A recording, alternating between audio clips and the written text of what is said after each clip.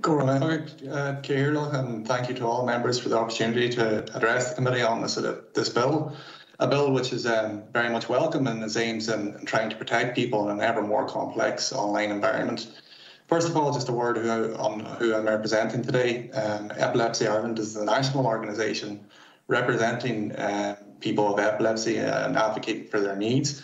Um, we also provide services and support for people with epilepsy and their families, and we do this through our, our 11 community resource officer, officers via our nine regional offices across Ireland. Our vision is to achieve a society where no person's life is limited by epilepsy. But what is epilepsy? Epilepsy can be defined as the tendency to have repeated seizures in the brain and is often described as an electrical storm in the brain.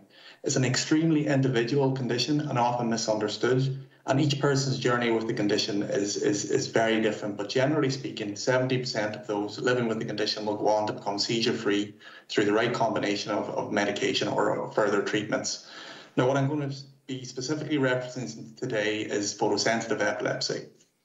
Now, just to give you a quick definition on that, photosensitive epilepsy is a reflex epilepsy in which uh, sensitivity to flickering lights, um, such as strobes, uh, some LEDs, or, or, other visual stimuli, may provoke a seizure in a person. But before I address our key point on the bill, there are two matters just I would like to make clear with, me with members. The first is not all people with epilepsy are photosensitive. In fact, around 3 to 5% of the overall epilepsy community are, are, are, living with photosensitive epilepsy. And secondly, the issue which I'm about to outline to you is one, as far as we're aware, has not maliciously presented in Ireland yet. And I suppose the key word there is yet.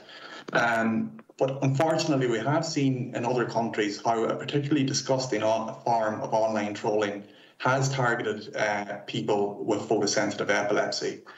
Now, what this typically involves is the deliberate targeting of people with photosensitive epilepsy with GIF images or videos designed to trigger a seizure in that person.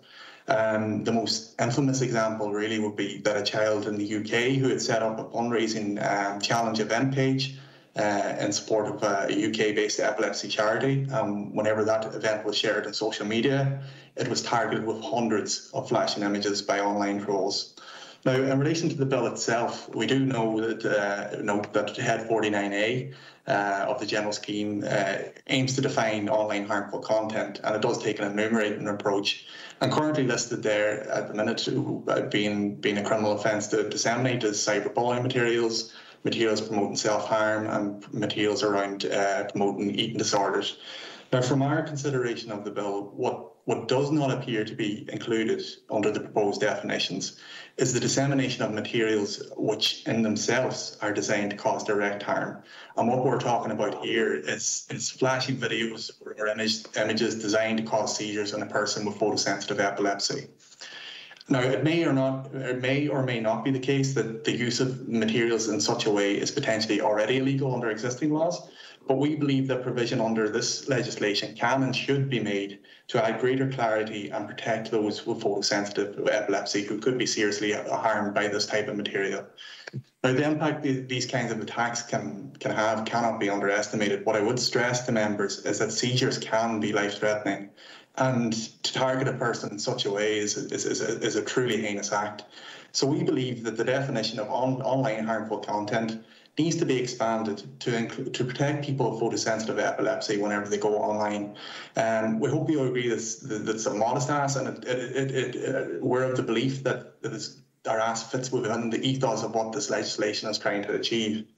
Uh, in closing, let's let's make sure that the targeted uh, attacks, like the one I referenced earlier, never becomes an issue in Ireland, and that if such a person does choose to engage in such behaviour, that they will be criminally liable.